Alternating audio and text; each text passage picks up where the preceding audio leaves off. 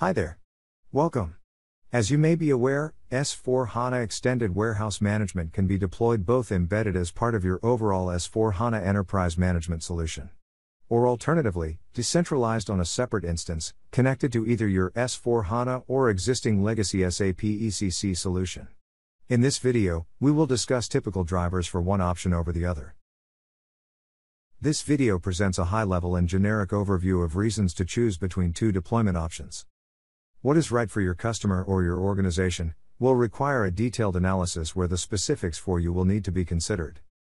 Our hope is that this video will provide information that will make it easier for you to make the right choices and priorities. To keep yourself updated on the latest details, we strongly recommend you to keep an eye on SAP Note 2840129. Make it a favorite. The note contains, among other things, an attachment that in details explain the key differences between the different deployment options of SAP EWM.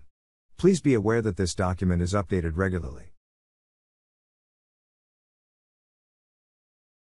We will now discuss 11 different drivers that may lead you to conclude on one of the two options embedded EWM or decentralized EWM. Let us move on. Driver number 1.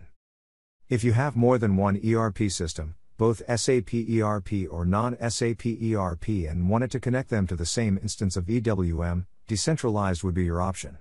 In fact, this cannot be done with embedded EWM, leaving you with no choice other than embracing the decentralized option. Driver number 2.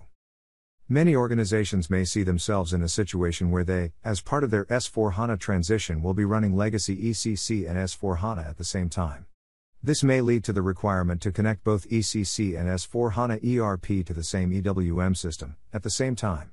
If that's the case, the decentralized option is the only option. In fact, many organizations see this as an opportunity to make a head start on their S4 HANA journey, getting the benefits of EWM early, and reducing the risk and complexity of the overall S4 HANA transformation. Driver number 3. If integration is a major concern for you, you would probably prefer to run EWM embedded. Since no data needs to be moved between instances, you could say that the embedded option provides both a tighter and easier integration, at least from a technical perspective. Number 4. Since embedded EWM runs completely, yes, embedded, in your S4 HANA system, most people would argue it represents the best solution, if a simplified system landscape is one of your priorities. Number 5. In EWM, we distinguish between basic and advanced functionality. If your functional requirements are modest, on par with what is currently available in ERPWM, basic EWM would suffice, and you would probably conclude on the embedded deployment option. Number 6. As you may already have seen, in the note mentioned earlier, there are minor functional differences between the two deployment options. This may change with future releases, so please keep an eye on any update. What the right choice is, depends naturally on your actual requirements. If we had to declare a winner, the decentralized option would probably be the one. Driver number 7. For some organizations, having the maximum flexibility to upgrade and add functionality, independently of the maintenance schedule of the corporate ERP system, may bring additional value. With S4 HANA EWM, SAP is providing two feature packs per the yearly main release cycle. If the flexibility to adapt these features quickly is a priority, the decentralized option would probably be your choice. Number 8. In case you run your warehouse 24 7, your requirements for uptime and your flexibility regarding maintenance windows may differ from the rest of your organization. If that is the case, the decentralized option may yet again be your favorite. Driver number 9.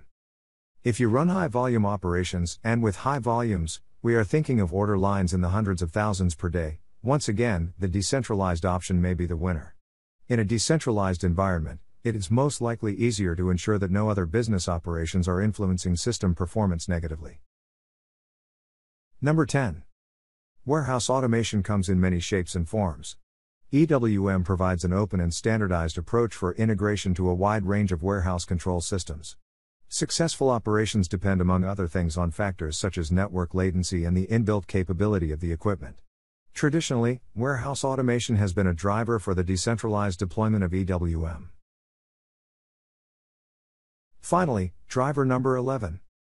If you plan to use EWM in supporting a production warehouse, embedded deployment may be the best choice. This is driven both by some detailed functional requirements as well as the obvious benefits of having very tight integration with production planning in S4 HANA.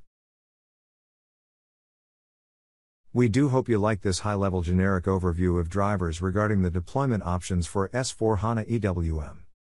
Please remember that there is no rule without exceptions and that, like in life itself, making up your own mind is normally helpful. Please be aware that this video does not represent the official view of either SAP or any other organization. Before we end this video, we would like to address a commonly asked question Can I go back? Let's assume you have implemented decentralized EWM and now wants to change to embedded. Can you do it? The short answer is yes. And organizations that have done it already exist. They use decentralized as a step towards their target architecture, EWM embedded. The other way around. Nothing is impossible, but this represents a slightly bumpier road. You can do it, but effort would be higher. One more thing. Did we forget something? Shouldn't cloud versus on premise have been on the list of drivers? We don't think so. One may argue that organizations with basic warehouse requirements are more likely to deploy in the cloud. Not sure if that is true. Since EWM can be deployed with the same level of functionality both on premise and in a single tenant slash private cloud, the version that is officially called S4 HANA Cloud Extended Edition. It supports the same extension framework as on premise, and we honestly think the same 11 drivers apply for a technical deployment in the cloud versus on premise. Speaking about cloud. As part of S4 HANA Cloud Essential Edition, SAP is offering S4 HANA Cloud Warehouse Management. That is probably a topic in itself, for another video. Thanks a lot for watching. Please comment, like, and subscribe. More videos like this coming shortly. See you then.